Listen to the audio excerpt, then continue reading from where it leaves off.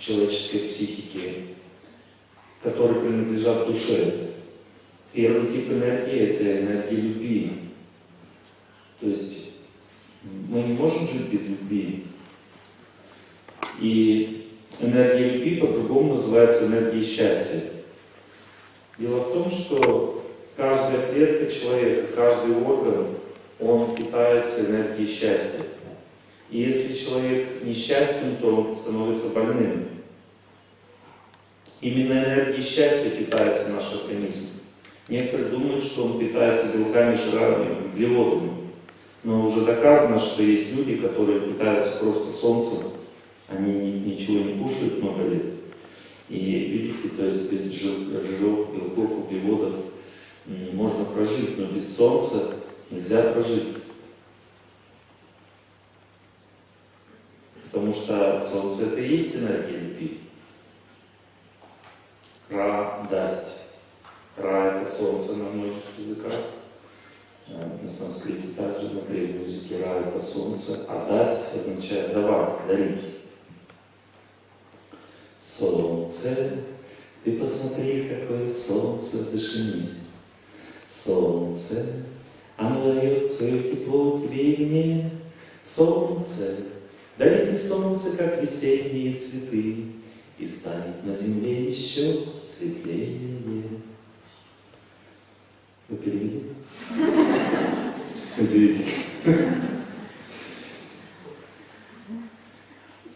Итак, видите, эта песня наполнена энергией любви. То есть дарите солнце, как весенние цветы, потому что цветы, если взять растения, то вот эти вот лепесточки, означают энергию любви. В растении, когда распускается цветок, то это энергия любви. И когда мы, любимые друзья, повесили мне цветы на шею, это означает их любовь. Это древняя культура.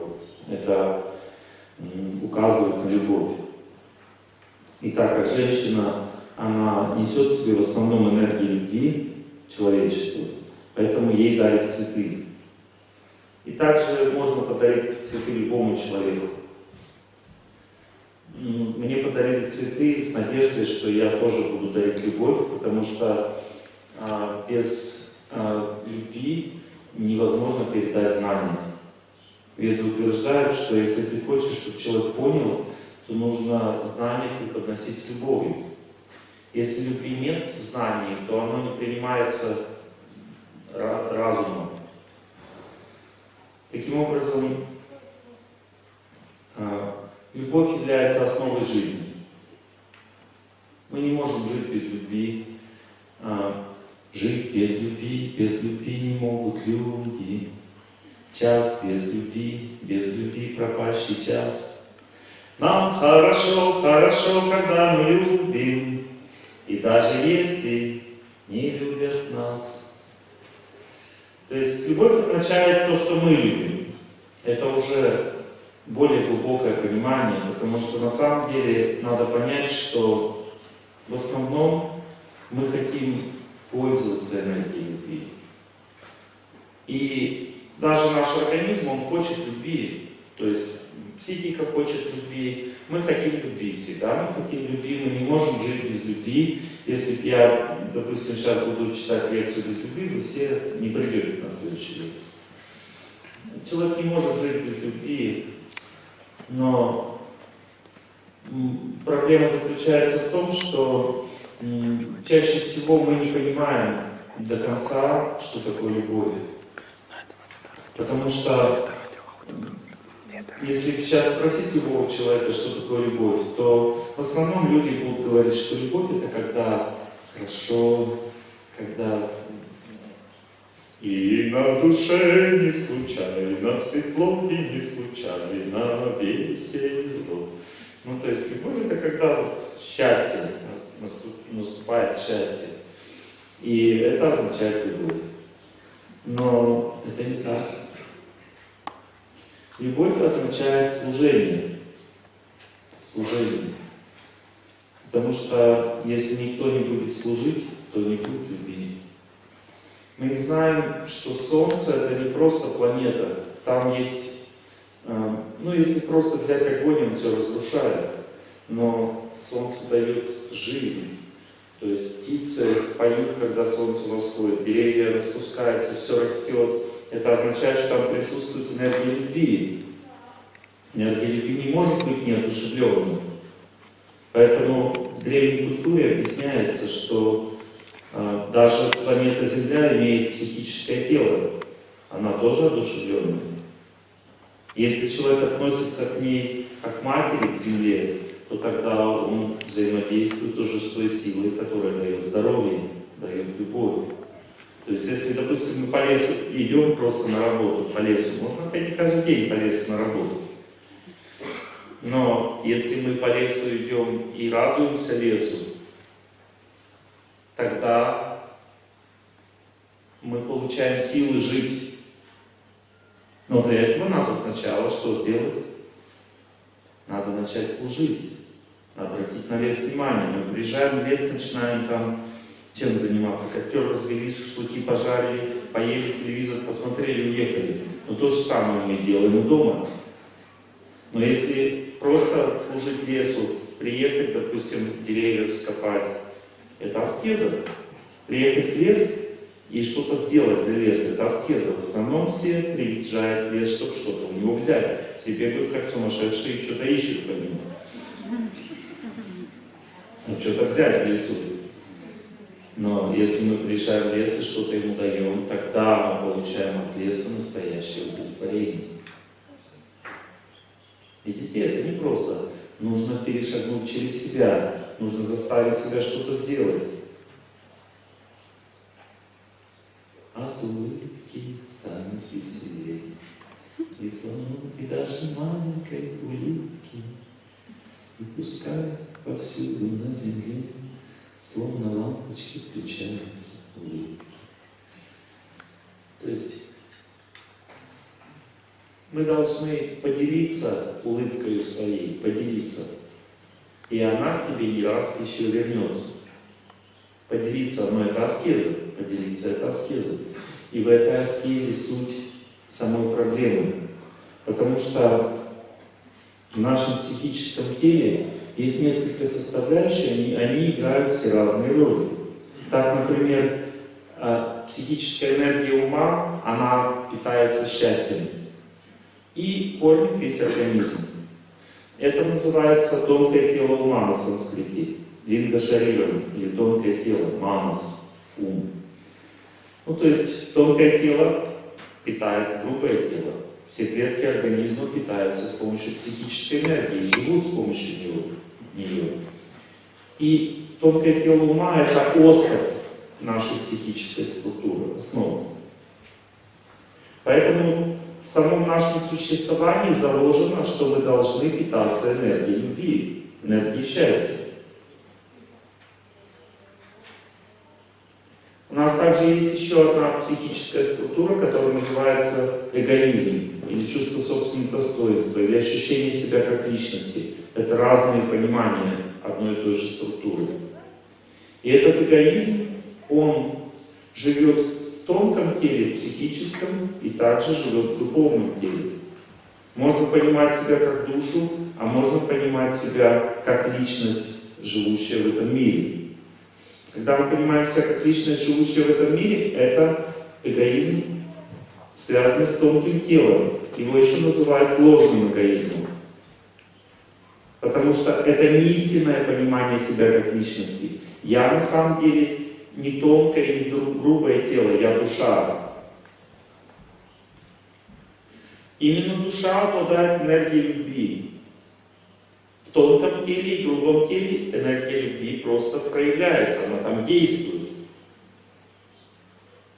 Но мы себя реально ощущаем как личностью, находясь в тонком теле. Вот это ощущение себя как личности, психическое, психическое ощущение себя как личности, всегда хочет кушать любовь.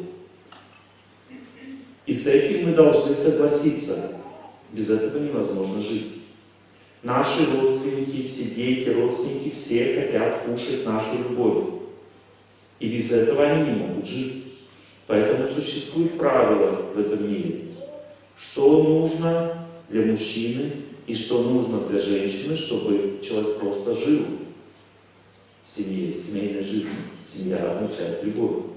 Потому что есть еще работа, там деловые отношения. Это отношения долго.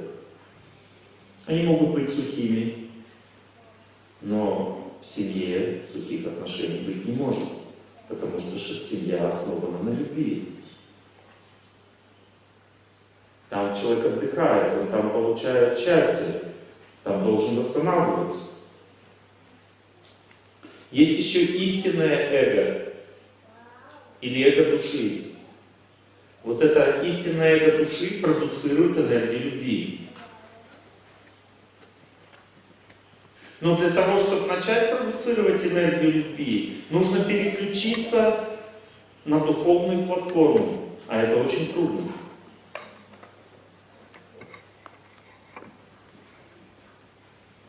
Это означает жертвовать собой. Часто нам кажется, что любить друг друга это очень просто. Но на самом деле, если глубоко изучать эту тему, можно увидеть, что ощущение любви мужчины и ощущение любви женщины противоположны. Например, то, что женщине кажется любовью, для мужчины это аскеза. А то, что мужчине кажется любовью, для женщины аскеза. Например, женщине хочется любить очень нежно, тактично, аккуратно общаясь. Нежные такие отношения, мягкие, такие нежные. Но мужчине очень трудно женщиной общаться тактично, нежно, аккуратно. Потому что мужчина, он не такой вот тактичный, нежный, аккуратный. У него этого не хватает, ему это очень трудно делать. Для мужчины же любовь означает подчинение означает, что если как бы ты со мной согласна, значит ты меня любишь. А если не согласна, значит ты не любишь.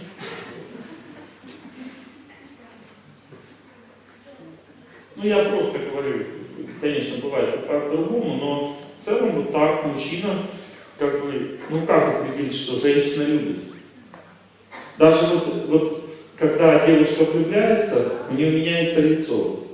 Знаете, каким оно становится? Оно становится вот таким.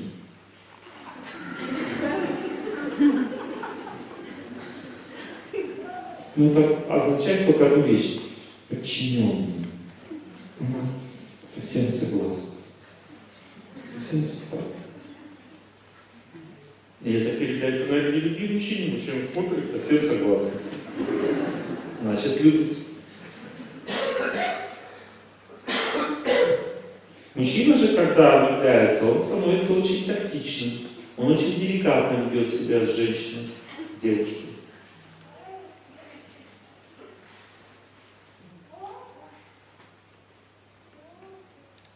Но это не его природа быть деликатным. Женщина думает, вот мне нравятся такие мужчины, очень деликатные, мягкие, такие нежные. Ну тогда выходи за девушку замуж. Потому что таких нет мужчин деликатных, мягких нет.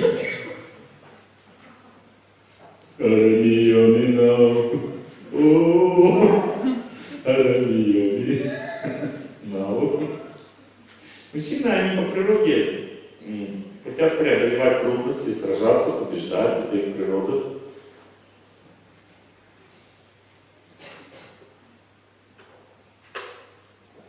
Женщины в природе очень чуткие, тактичные, нежные, деликатные. Когда человек влюбляется, он просто отражает ту природу, которую он любил, влюбился, потому что влюбленность означает копировать, означает отражать. Допустим, когда э, мы берем собачку домой, то вы можете заметить, что вы становитесь похожи на эту собачку через некоторое время. А собачка становится похожа на вас. Можете, можете поставить несколько хозяев и несколько собачек. И можно их перемешать, но все равно понятно будет, чья собачка Какого хозяина? Потому что они чем-то похожи друг на друга. Эта вот похожесть называется бхава на санскрите. Бхава означает, что от тебя что-то исходит, и это передается другому человеку в виде эмоций, настроения. Вот это и есть энергия любви. Она а, меняет человека. Если, допустим, а, вы излучаете любовь на меня, то я меняюсь в соответствии с вами. Я становлюсь таким же, как вы, и потом отражаю столько же. И если люди очень сильно влюбились, то они так сильно друг друга отражают, что мужчина становится как женщина, очень деликатным, нежным, мягким, а женщина становится как мужчина, подчиненная. Вот где вы вообще видели подчиненных женщин? Вот где бывают вообще подчиненные женщины? Веда говорится, что 40 мужиков могут в одной комнате спокойно жить вместе. Равняйся, смирно, вольно, есть, разойдись. Это мужская энергия. Но женщина по своей природе не подчиненные. Две женщины в одной комнате очень трудно жить. Практически невозможно.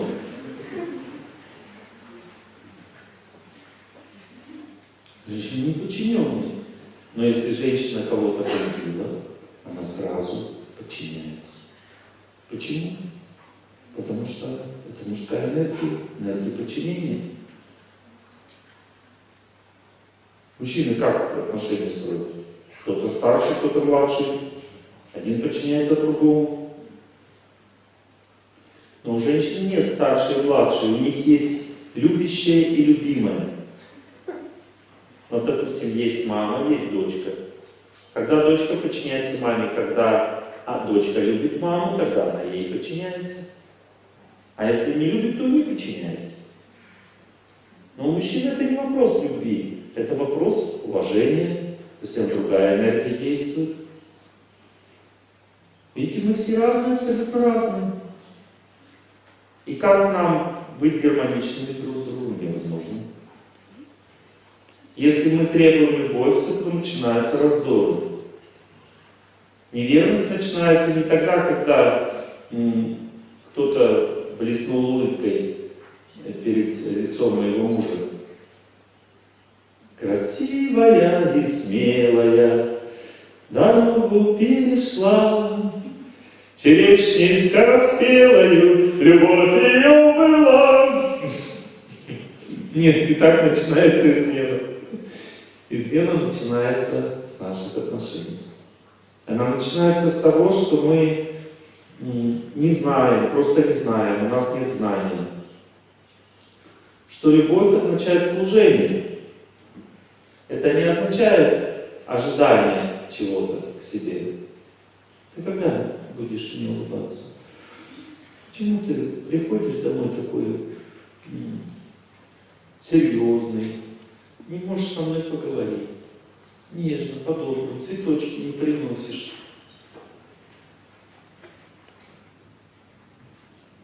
Я бы приходил нежно, по-доброму, как бы все, если ты мне приготовила покушать, когда я пришел, улыбнулась, что-то обняла бы меня, что-то ласковое сказала. Что я сейчас рассказываю? Я сейчас рассказываю начало скандала.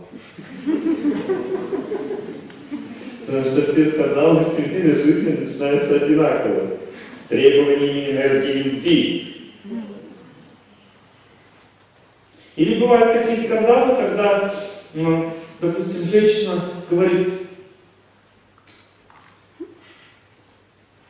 Почему ты не даешь мне возможности тебя заботиться о тебе, целовать, обнимать? Почему ты не даешь такой возможности?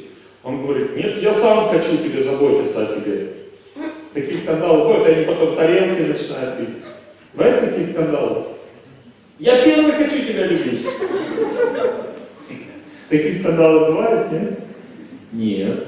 В основном скандалы бывают другими. Мы требуем энергии любви. Но почему близкий человек не может дать нам энергию любви? А потому что ему самому не хватает. И когда кому-то из близких, из родственников не хватает энергии любви, то всегда начинаются страдания, которые приводят к скандалу. Потому что между двумя людьми существует определенная нить, связь. Это, по этой нити перетекает энергия счастья. Вот, например, ребенок заболел, мать тревожится. Что такое тревожиться? Означает, вытекает энергия счастья. У меня было определенное количество счастья. Мне было хорошо. Заболел мой ребенок, мне стало хуже. Почему? Потому что эта энергия счастья начала перетекать к ребенку. И что значит тревога, тревожиться? Это означает не желать отдавать энергию счастья. Потому что на самом, да, да, да, да, на самом деле, когда мать желает отдавать энергию счастья, она начинает не тревожиться, а совершать аскезу. Многие люди даже не знают, что это такое. Как совершать аскезу, рождающую энергию любви? А эта аскеза совершается очень просто. Надо взять изображение святого человека, или святого места, или святой реки. Что такое святость? Святость что такое? Свет. Слово свет исходит, да? Святость, свет. Что значит свет? Свет означает энергия любви. Нам не нужен другой свет. Или это свет фонаря, это святость? Почему Нил рисует над ликом святого человека? Потому что от него исходит энергия любви, или у него электрическая энергия? У него энергия любви, поэтому считается святым, он помогает всем. Он, у него очень много, и поэтому всем хорошо становится. Энергия любви так действует, что она лишает человека страданий. Мне хорошо с тобой, и снегопад, и дождик проливной, и человек не замечает ни дождика, ни снега, все, энергия любви сделала его счастливым, и у него нет проблем, у него нет страданий. Или мы можем служить этой энергией природы, и тогда не будет страданий. У природы нет плохой погоды. Каждая погода только так. Каждое явление природы надо благодарно принимать. Ну что значит благодарно принимать? Это значит любить этот мир, природу, начать любить, принимать эту природу, и тогда ты уже не страдаешь от снега, от холода, от жары, ни от чего, потому что ты что делаешь? Служишь природе, отдаешь ей. Витя, мне хорошо с тобой, снегопад, дождик проливной, это одна песня которую мы все хотим. Это та песня, которую мы все хотим. И в этой песне уже заложен скандал с самого начала. И разрушение нашей семьи, и развод в ней тоже заложен. Почему? Потому что этого желания любви у нас очень много. Мы хотим, хотим, хотим энергию любви. И не понимаем, что бывает родственники могут нам ее дать, а бывает, что они не могут. Они страдают. А между нами есть связь, через которую перетекает эта энергия любви, хотим мы этого или нет. И есть истинный эгоизм, который находится в душе, который продуцирует энергию любви, а есть ложный эгоизм, который находится в тонком теле, который потребляет энергию любви. И если человек не настраивается на святость, на высшее, на чистое, на возвышенное, если он не смотрит на природу, как на благодать, которой надо служить, если он не вскапывает деревья, если он не заботится о птицах, не кормит птиц, если он не, не уважает солнце, а просто пользуется им, подставляя их на одно место. Вот. Чтобы ну,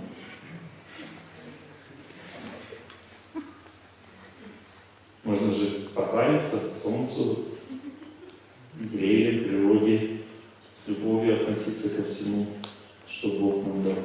А можно пользоваться просто. Это разные вещи. У меня есть родная сестренка, есть двоюродная. Они, им было по пять лет, они сидели возле телевизора, увидели одну и ту же курочку, которая лежала на тарелочке. И одна заплакала, двоюродная сестренка заплакала и сказала, я люблю курочку, мне жалко курочку. А вторая моя сестренка сказала, я люблю курочку.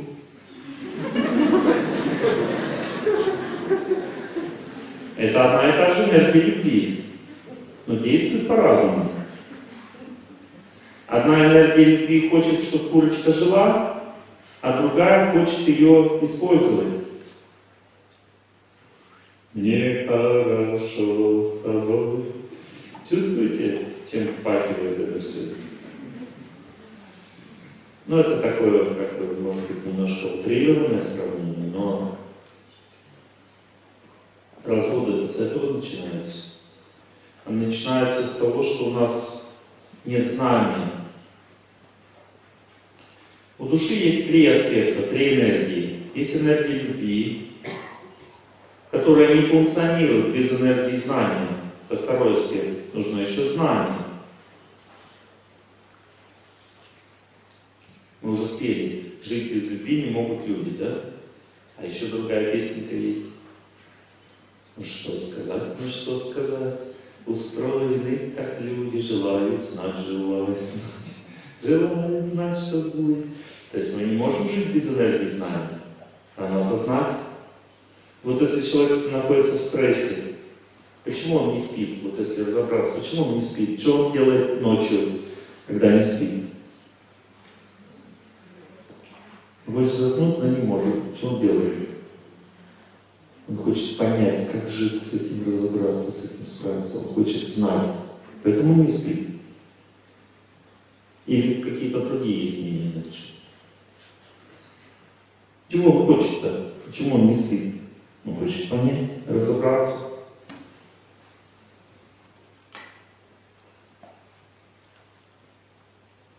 Я не могу тебя забыть, но как мне быть? Хочешь понять, как дальше жить? У него ушел 200 человек.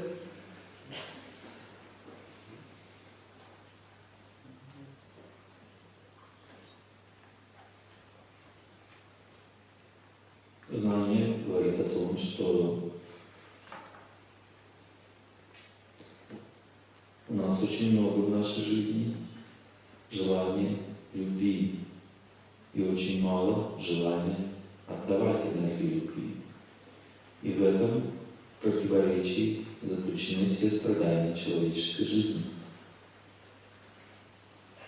Кто такой святой человек?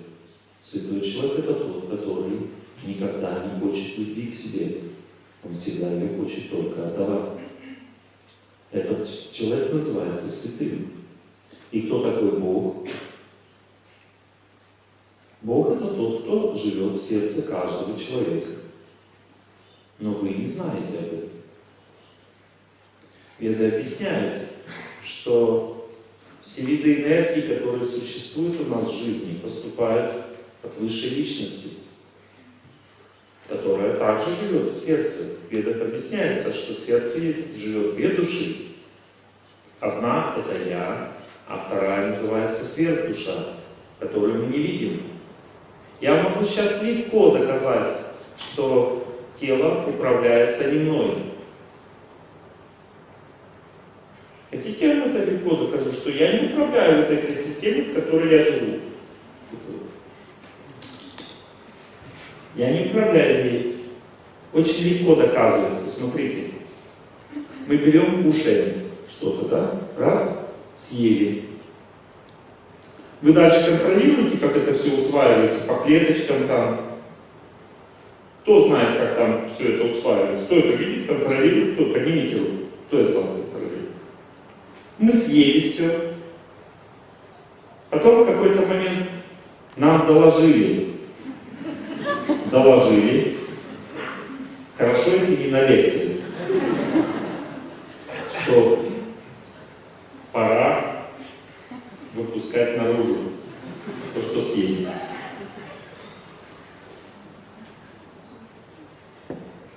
Причем идет требование изнутри, очень жесткое. Надо быстрее. Кто требует, непонятно. Мы не знаем его, кто это все делает. Мы с ним не знакомы. Он нам служит абсолютно бескорыстно, не выдавая себя. Теперь сразу возникает вопрос, а почему мы не знаем, кто управляет телом? Какой ответ?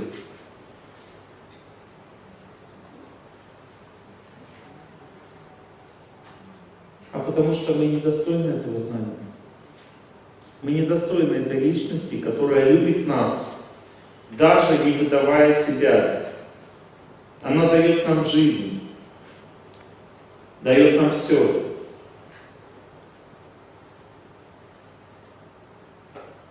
Вот кто из вас, допустим, не замужем и как бы просил мужа, поднимите.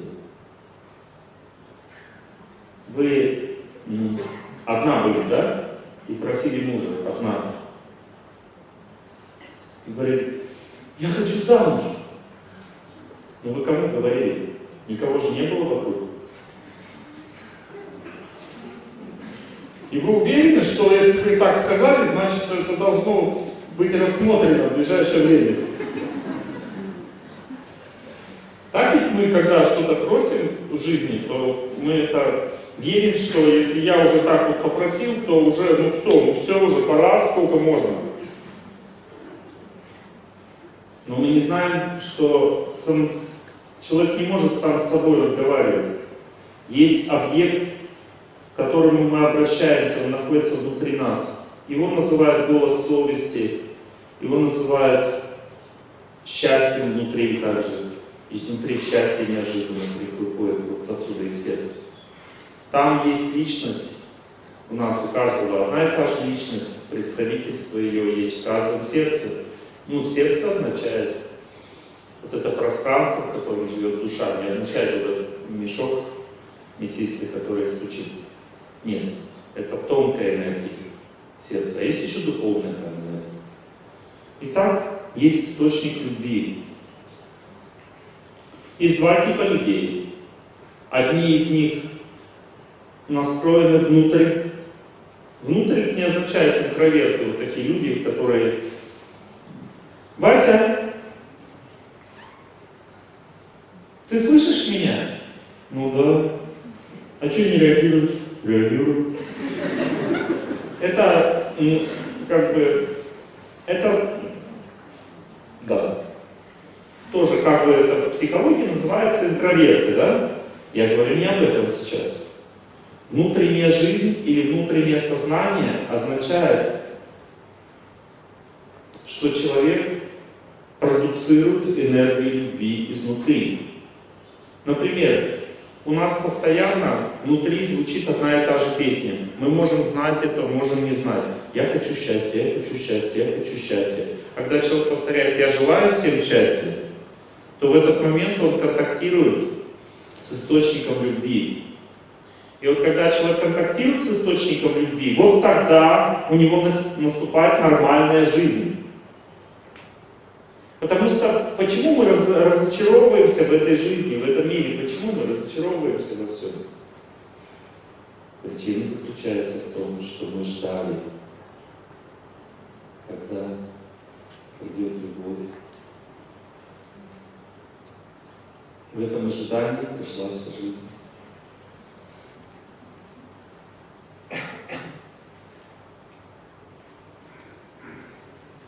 Есть песни эти ожидания, песни молодости, песни ожидания. Самая лучшая песня спета, Самая лучшая девушка Все еще впереди, все еще впереди. Человек верит, что все будет впереди, все еще придет, все впереди. Это мы ожидаем любви. Молодость всегда ждет любви, она оптимистична своим ожиданием любви. Старость. означает не дождался.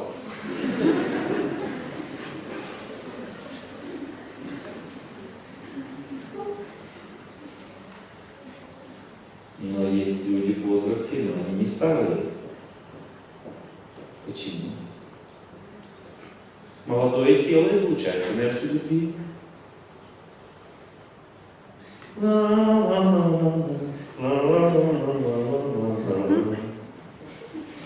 Молодое тело излучает энергию любви, поэтому молодежь развлекается в жизни. Им хорошо жить, потому что энергии любви хватает, тело еще наполнено энергией любви, можно жить классно, проблем нет. Но когда тело взрослеет, энергии любви в нем становится меньше. Но есть старые люди, а есть мудрые. Мудрые люди не старые. Почему? Потому что они уже научились служить.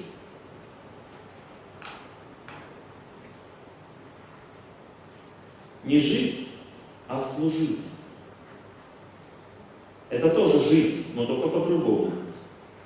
В основном люди просто хотят любви. Это называется жить. Но служить означает другую жизнь, когда ты постоянно заставляешь себя делать что-то. Я желаю всем счастья, я желаю всем счастья, я желаю всем счастья, я желаю всем счастья. Или молитва. Что такое молитва? Это тоже продуцирование энергии любви. Или поклонение. Поклонение святому человеку, святой реке, э, святой земле. Поклонение э, тем, кто сражались за Родину. Это тоже поклонение. Поклонение э, бабушке, которая была очень хорошим человеком, моя бабушка любимая, я ее люблю, означает поклоняюсь ей. Она мне уже ничего не даст, она только у меня на фотографии осталась памяти. Но это любовь настоящая. Или а, человек бросил, бросил меня, допустим, и мне очень больно. Но я простил этому человеку, и у меня светлая память о нем только осталась. Я помню только хорошее. Это называется любовь. Все остальное это просто игры любовь. Это попытки ее использовать. Как только мы начинаем использовать энергию любви, любовь заканчивается. Любовь начинается там, где есть только служение. И заканчивается там, где есть потребность в ней. Но потребность любви живет в жизни каждого человека. Мы не можем сейчас прийти домой и сказать, все, мой дорогой Олег Геннадьевич сказал, что то, что ты меня просишь готовить, стирать, убирать, это не любовь. Мы не можем так сказать, потому что мы не можем обвинять близких людей в том, что они хотят любви. Мы нищие в этом мире, мы нуждаемся в любви. Но если мы понимаем, что сама нужда по себе разрушает нашу жизнь, сама нужда разрушает нашу жизнь, значит, мы разрушаем также свою семью. Если увидите, что вы приходите домой, и у вас напряженная атмосфера, вы не можете улыбаться друг другу, вам тяжело рядом, вам хочется быть в разных комнатах. Вам трудно разговаривать друг с другом, даже если вы не ругаетесь вместе. Это значит только одно, что у вас желание любви очень сильное, а желание отдавать любовь очень слабое. У обоих. Двойка. Оценка двойка. Потому что если вы... Ну, двойка означает плохо. С разной оценки. Потому что если бы вы э, начали с себя, а не с близкого человека, и начали просто продуцировать энергию любви, она не берется ни из ниоткуда. Она берется от тех, кто такие. Вот от Солнца можно брать энергию оно всегда светит. Оно никогда не просит назад. Оно не является черной дырой. и черные дыры Вселенной все пожирают. Солнце всегда отдает.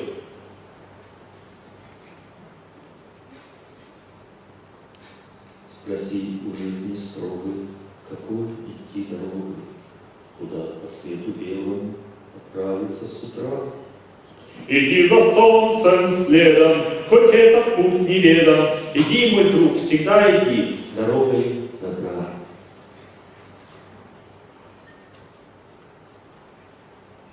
И дорога добра означает светить всегда, светить везде, до дней последних донцев. Светить и никаких гвоздей. Вот лозунг мой и солнце. Дорога добра означает отдавать.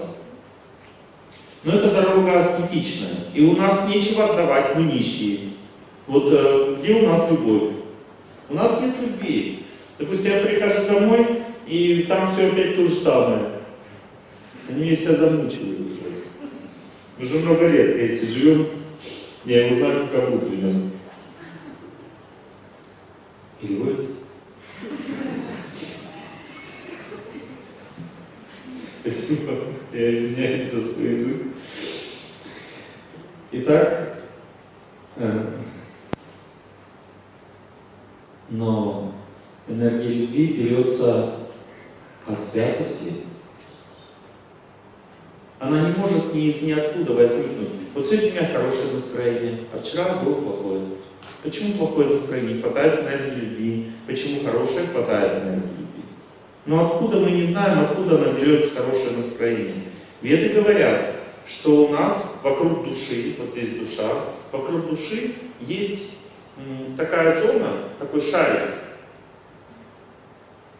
который настраивается на разные энергии. И его настрой на, на какую-то энергию всегда зависит от того, что мы делали в прошлом.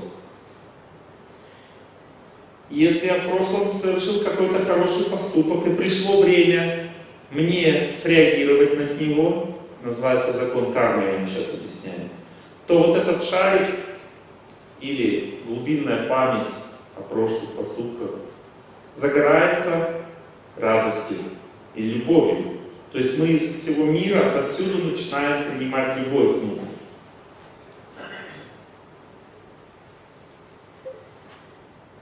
И тогда мне становится хорошо, у меня хорошее настроение. Потому что я что-то бескорыстное в прошлом сделал. То есть я в прошлом когда-то заставил себя жить для других. И это возвращается назад.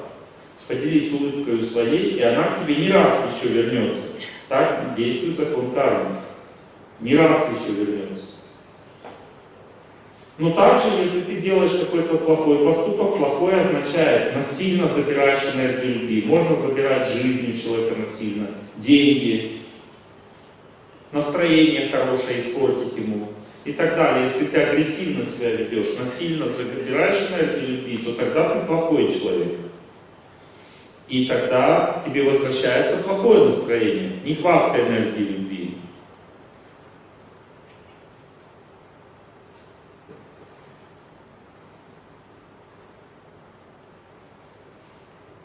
И там у нас бывает хорошее настроение, что бывает плохое.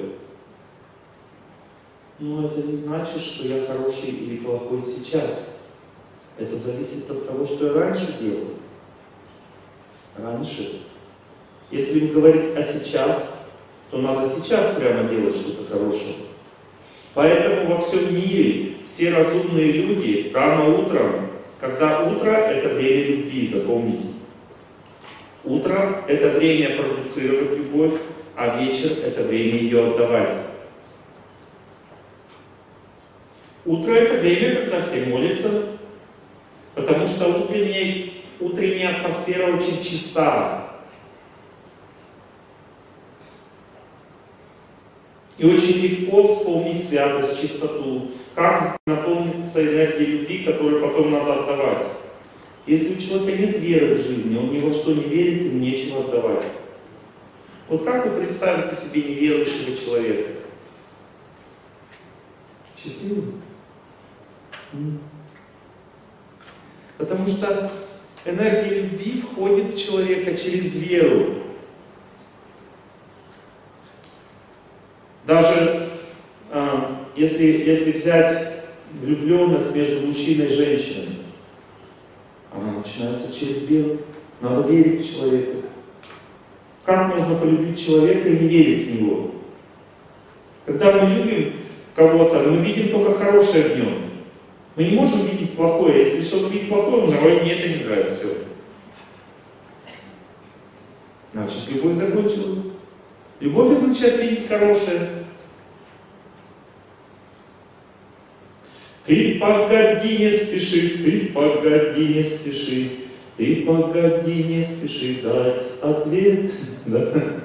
И не прекрасен, может быть, снаружи, зато душой красив наверняка. Человек пытается показать свою красоту, когда он хочет, чтобы его полюбили, он пытается показать себя с лучшей стороны. Означает душевные качества. Есть качество нашей судьбы. Я могу быть жадным, гневливым и так далее. Это качество судьбы, идущие из судьбы. Но душа не может быть жадной и гневливой. Она соткана из красоты, душа. И если я увидел в вас что-то хорошее, значит я увидел подлинность души. И это означает любить. Пытаться видеть что-то хорошее.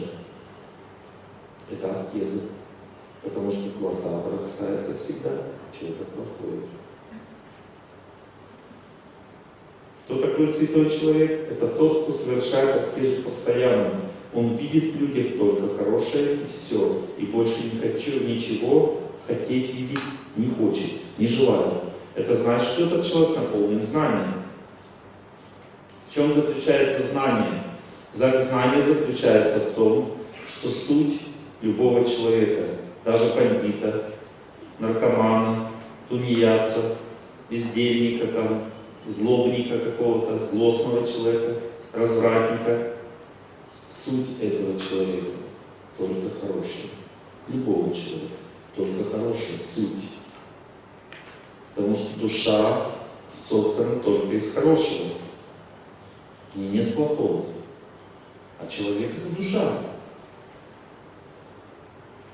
И почему одни могут видеть в нем хорошее и могут исправить этого человека, поставить на истинный путь, а другие не могут? Потому что у одних больше энергии любви, а у других меньше. В этом только разница между людьми. Энергия любви продуцируется знанием. Проблема заключается в том, что этот мир так устроен, в котором мы живем, что он настраивает нас на эгоизм. Так устроен этот мир.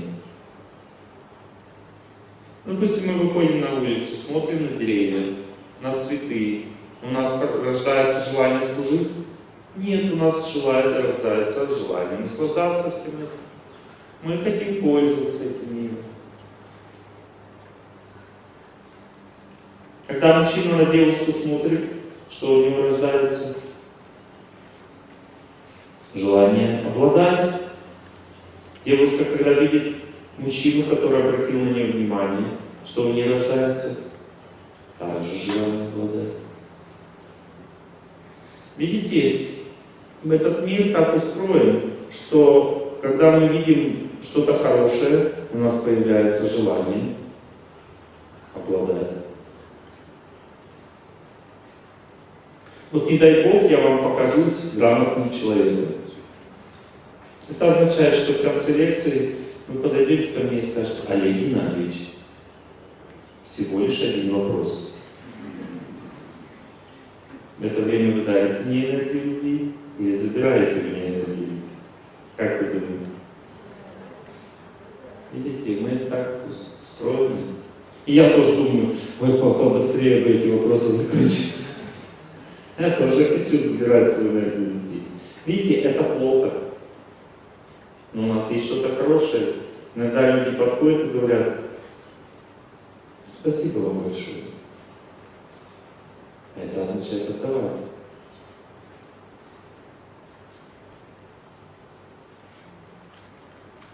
Но проблема даже заключается в том, что если мне так говорят, спасибо вам большое, это же надо еще и принять. Я должен увидеть чистоту в этом человеке и сказать ему, пожалуйста, так, чтобы он увидел, что я услышал его. Это не просто. Видите, аскеза и давать любовь, и по-настоящему правильно принимать, не хватать ее. Пожалуйста, пожалуйста, да. Не хватать любовь, а отдавать назад, принимая. Все это аскеза. Наша психика всегда настроена только хватать любовь. И поэтому мы страдаем в этом мире. Что такое знание? Знание — это включать в себе желание служить энергии любви каждый день. Не включать желание наслаждаться этим миром. Солнце же, вот я про солнце вам спел, да? Сейчас другую песню про солнце спою. Каждый день на земле, каждый час Солнце бубен играет для нас. И весна наступает меня, потому что ты любишь меня. Видите, все для меня. Солнце для нас, бубен играет. И весна тоже наступает. Нет, потому что? Потому что ты любишь меня. Видите, все для меня. То есть в этом заключается проблема. Но это необходимость. Не надо это воспринимать как враждебность. Допустим, смотрите, если касается меня, то я должен учиться служить близкому человеку и просто отдавать любовь, хоть это и кажется унижением. Вот на самом деле ощущение, что я отдаю любовь, не возникает, когда я это делаю. Вот в этом и заключается интересный момент. Потому что, когда я отдаю любовь, что в это время происходит? Близкий человек что с ней делает? Нещадно ее поедает. У нас нет квалификации обмениваться любовью. И поэтому просто отдавать любовь в черную дыру, это тоже любовь. Так начинается служение в семье. Девушка готовит с любовью, может покушать. Он что делает? Кушает. и не обращает на нее никакого внимания это. Это обмен любовью или нет? Обмен? Нет. Обмен означает кушать еще больше давать. Он одну ложечку положил в рот. Очень вкусно. Три раза сказал очень вкусно, потом еще одну ложечку. И вот так он ест и наслаждает жену любовью. Ой, какая вкусная пища, я не могу больше есть. Мне даже страшно брать еще в рот еще одну. Так вкусно вообще.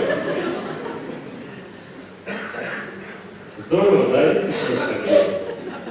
Хотелось бы готовить ему каждый день, так?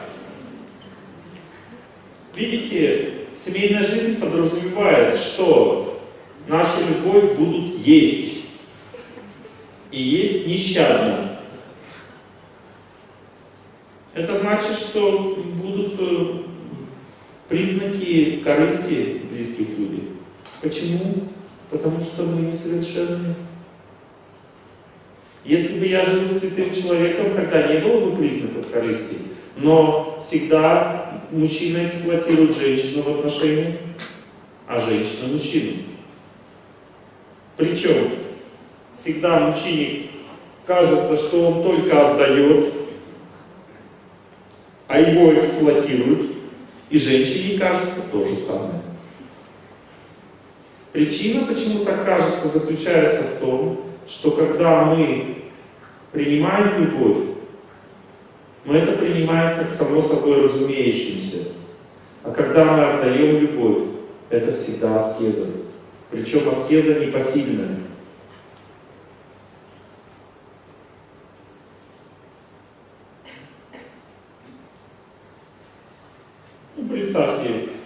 вы жена такого строгого такого человека, который не сильно обращает на вас внимание.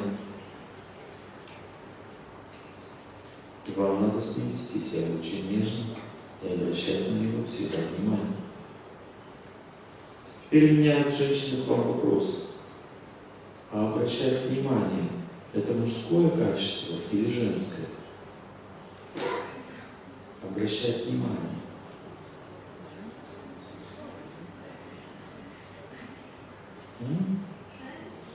Женское. Конечно, женское. Смотрите, интересно знать, что нам хочется от близкого человека того, чего у него нет. Всегда. Почему? Потому что для того, чтобы быть счастливым, надо вложить столько в близкого человека, чтобы пошло назад. Вот женщина в семейной жизни должна столько заботиться о муже, чтобы он наполнился этой энергией заботы, пробила его, чтобы эгоизм его, его ложный эгоизм превратился в истинный, чтобы он стал благодарен и чтобы он назад эту заботу всегда отдавал. И внимание, внимание, допустим, это женское качество. Надо так внимательно относиться к мужу, чтобы он потом в какой-то момент его пробило, и он начал назад внимательно очень к жене относиться.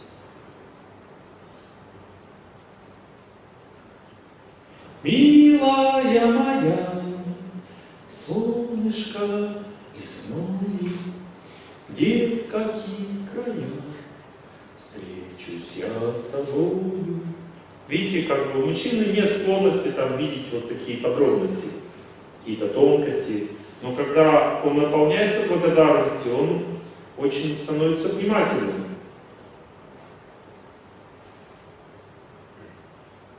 Или когда он наполняется вожделением. Видите, есть разница между наполняться благодарностью и та же самая красота.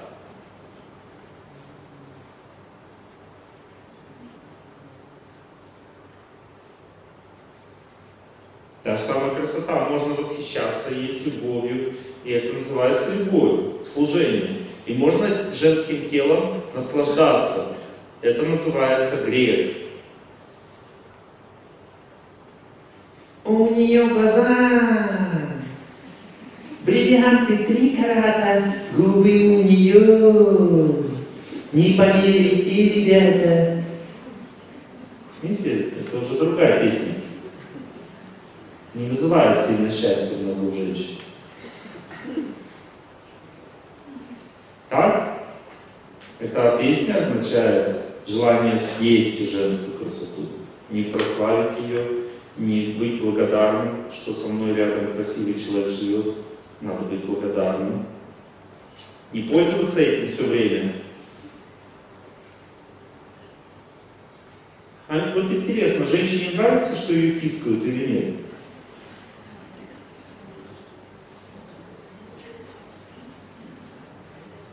Женщине нравится, когда очень аккуратно, по-нежному относятся к ее телу. Так женщина или нет? Она как бы... Это не нравится.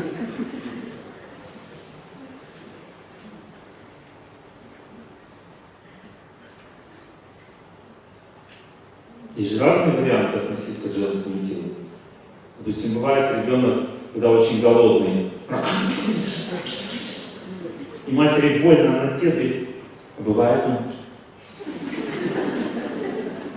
с любовью сосет грудь.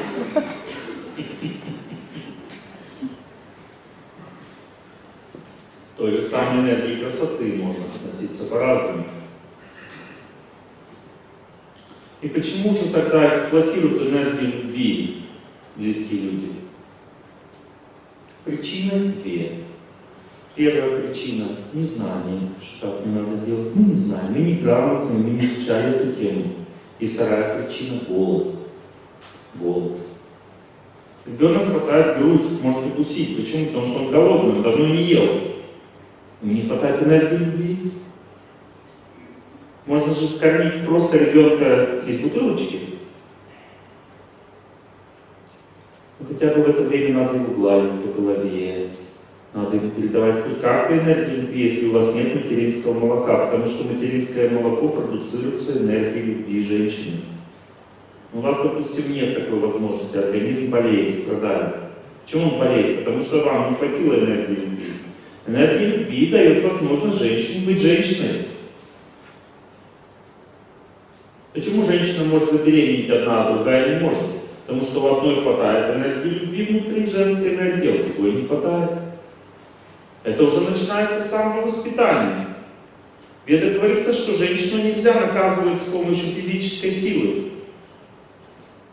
С ней надо всегда обращаться очень нежно, потому что она создана из энергии любви. Даже в детстве наказывая ей надо все объяснять, почему я тебе в угол ставлю, все, в угол ставлю, и аккуратно поставить угол. Женщине нельзя грубо поступать, даже когда она девочка. Она создана из энергии любви. И когда это так воспитывают девочку, у нее все гормональные функции работают нормально, она легко вынашивает, рожает ребенка.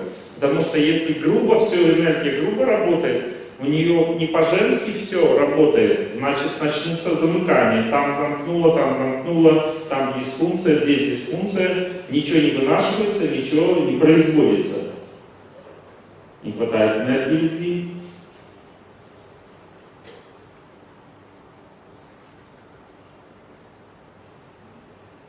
ты такой холодный, как айсберг океана.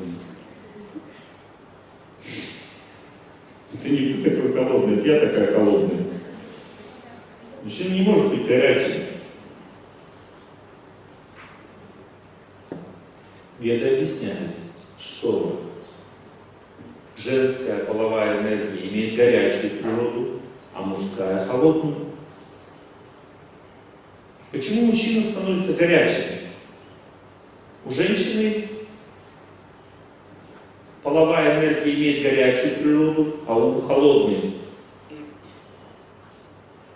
Вот женщина одна, и ничего не надо, она такая тихая, спокойная, живет себе, ничего не надо. И все нормально. Но она мечтает семье. Мечтает о огненной энергии, горячей. Мужчина не мечтает, ему надо. Не ум горячий, мужчина ум горячий. Половая энергия холодная. Но когда мужчина э, находит себе девушку, от нее из половых центров идет горячая энергия, возбуждает его в половом плане мужчина, хочет обладать женщиной, возбуждается рядом с женщиной. Огненная энергия женщины пронизывает его. А у женщины возбуждается ум. Она начинает беспокоиться, наверное, он меня любит.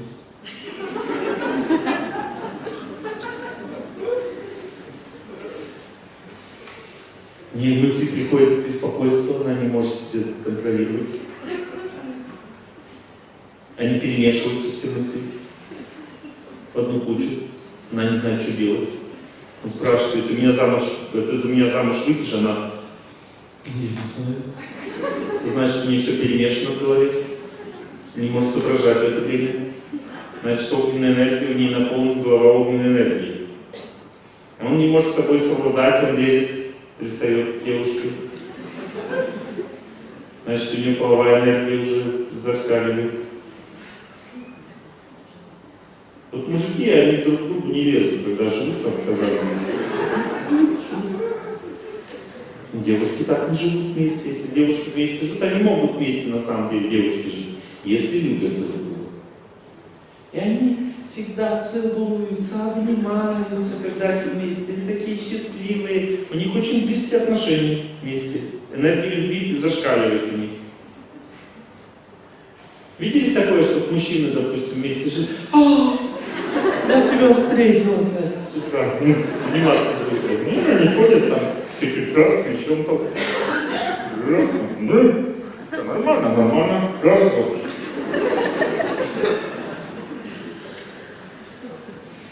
Женщина ой, хорошая, так люблю, ты такая хорошая. Так ведь? Когда рядом женщина. Это горячая энергия. Они горячие по природе женщины, у них половая энергия горячая. Мужчины холодные, они спокойно друг к другу относятся. Но когда одна красивая девушка заходит и сидят 50 мужиков,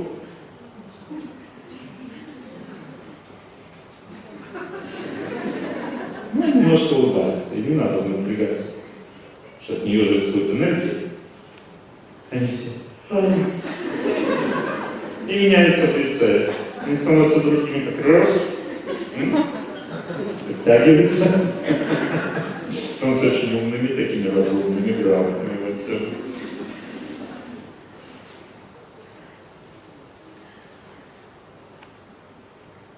Ну, в семейной жизни все не так. Высоцкий пел, сзади так накуркаешься, придешь домой, там ты сидишь.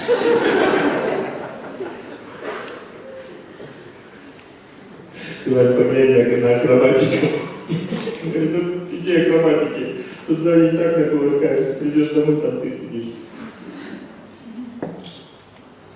Видите, каждый день мы поедаем энергию любви друг другу, друга, и постоянно ее становится все меньше и меньше, меньше и меньше. И постепенно в семье наступает такое время, когда просто тошнит друг друга, просто тошнит. Это означает всего лишь одну вещь, что в этой семье никто ни во что не верит. Потому что только вера может раздать любовь, только вера. Вот если люди верят в дом, они строят дом вместе, это хорошо. Вот пока они строят дом вместе, у них счастливая семья. Как только построили, больше верить не на что, семья развалилась. Или они на машину зарабатывают вместе, или они на э, отдых где-то там на Майами зарабатывают вместе. Какая должна быть вера? Но веды говорят, что это плохая вера, когда мы верим в дом, в отдых, в машину, в детей, человек должен верить в святость. Да, от детей исходит чистая божественная энергия. Вера в детей это хорошо, но это временная вера. Она не поможет семью сохранить, потому что если мы живем ради детей, дети подрастают, от них божественная энергия меньше исходит. И энергия любви от них меньше исходит. И когда наступает половое созревание, у ребенка неожиданно для всех, бац, и ребенок остывает к родителям. Ему уже нужно любовь испытывать не от родителей. До полового созревания дети от родителей испытывают любовь, и родители наслаждаются своим родительским чувством. Но после полового созревания дальше наступает безответная любовь уже. Родители продолжают любить своих детей, но дети забывают про родителей. Они ищут себе любовь уже в другом месте. Видите, эта чистота ребенка, она не бескорыстная она не святая. Нельзя в нее верить. Надо знать, что это хорошо, это помогает быть счастливыми. Когда появляется ребенок, семья сплачивается на время. На время. Но если люди не верят в святость, не верят в Бога, их семейная жизнь обречена на разрушение. Причина заключается в том, что у нас существует такое понятие, такая психическая структура, как ложный эгоизм. Что такое ложный эгоизм? Хватать энергию любви. Ложный эгоизм означает ложное представление о себе как личности, как о том объекте, который должен у всех брать энергию любви. Мы все так себя считаем. Вот, допустим, а, мы встретили кого-то на улице, и он мне не улыбнулся значит он ко мне плохо относится. Почему мы так считаем? Потому что мы считаем, что все должны нам улыбаться постоянно. Так действует ложное эго. Девушка считает, что все должны радоваться ее красоте. Кто-то, допустим, не обрадуется, значит, он меня не любит. Плохо ко мне относится. Так действует ложное эго. Вам не сложно? Я вас не замучил? Нормально? Так, смотрите, интересная, интересная вещь получается, что есть такая сила у нас, которая всегда нас сводит в заблуждение и приводит к несчастной любви. У нас живет внутри сила, причем эта сила действует независимо от того, хочу я или нет. Причем, как интересно она действует. У нас внутри психики существует вот этот шарик вокруг души. Там находится судьба, энергия судьбы. Есть две энергии судьбы. Есть энергия хорошая, несущая любовь, а есть энергия плохая, несущая страдания. Есть возможность отдавать любовь и есть потребность любви. Потребность любви означает страдание. Одни страдания, а то любви. Потребность любви означает страдание. А способность отдавать любовь означает счастье. От печали до радости ехать и ехать. Очень трудно от печали до радости добраться. Но от радости до печали вот так вот. Чуть-чуть радуемся, потом раз и печалились. Кончилась энергия счастья быстро кончается. Наполниться энергией любви очень сложно. Для этого надо переключить свою жизнь в другое русло. Нужно молиться каждый день, желать всем счастья, просить прощения, прощать, не требовать к себе слишком много внимания, слишком много заботы, довольствоваться малым в жизни, не желать ничего лишнего и так далее. Это все означает продуцировать энергию любви. Когда человек так живет, он продуцирует энергию любви постоянно. Это всегда аскеза. Но, когда их взгляды встретились, они, конечно же, сразу полюбили друг друга. Когда вот этот момент наступает, мне все время кажется, почему-то кажется, что между мною и тобой ниточка завяжется. Ниточка, да? Ниточка. Ниточка перетекания энергии любви завяжется.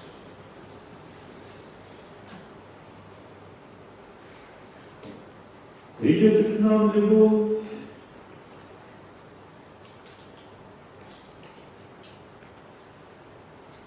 когда люди влюбляются, то что происходит?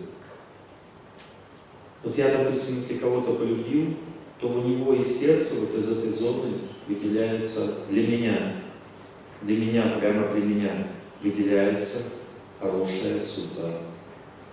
В буквальном смысле слова я у этого человека из сердца вытаскиваю хорошую судьбу.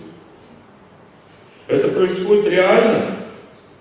На тонком плане это происходит реально. Если я в гармонию вступил с кем-то, то из этого человека сразу выходит хорошая судьба для меня.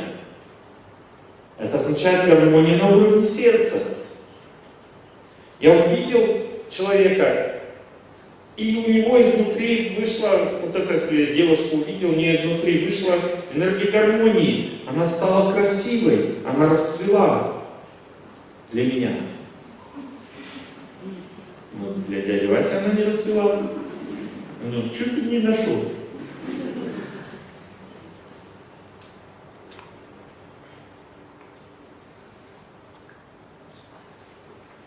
Песня Марка Дюнеса есть, что ну, как бы есть девчонка одна, для, в основном для людей неприметна она, да? Но я и все, ничего не нет.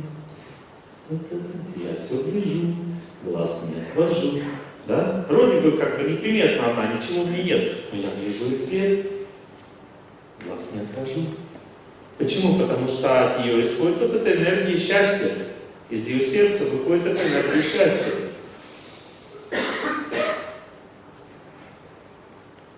Мы вытягиваем энергию счастья. Своим взглядом. Просто гармонию, гармонию вступаем с человеком, и из него выходит из энергии счастья. Это называется влюбленность. Люди влюбляются, они есть безответная любовь, когда один может оттягивать энергию счастья, а другой не может. Один влюбляется, другой не влюбляется. Не может влюбиться. Называется односторонняя такая любовь, безответная. Надо это знать. Потому что некоторые люди думают, что если мне понравился человек, значит я ему тоже должен понравиться. Ничего подобного. Вот это означает страдание. Бывает так, что один понравился, другой нет. Надо проверить, посмотреть. Надо сильно чувству давать волю, надо посмотреть. Может быть, это не так. Это для молодых людей сейчас говорю. Потому что влюбленность, когда человек уже женился, влюбленность это яд. Когда человек женился, влюбленность. А когда человек еще не женился, влюбленность это подарок, это нектар. Видите, влюбленность, что это такое влюбленность? Мы вытягиваем энергию любви друг из друга. Это чистая любовь или нет? Влюбленность чистая любовь? Нет. Это очень корыстный вид любви, влюбленность. Мы жаждем счастья. Это очень корыстная любовь. Но даже эту корыстную любовь прославляют во всех песнях, во всех сказаниях.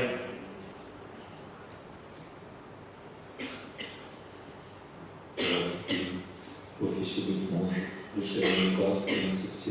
Но пусть она вас больше не тревожит, не печалит вас ничем.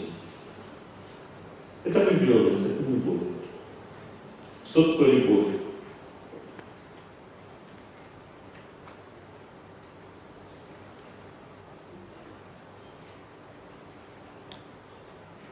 Верю в тебя, дорогую подругу мою, Эта вера от смерти меня темной ночью спасает.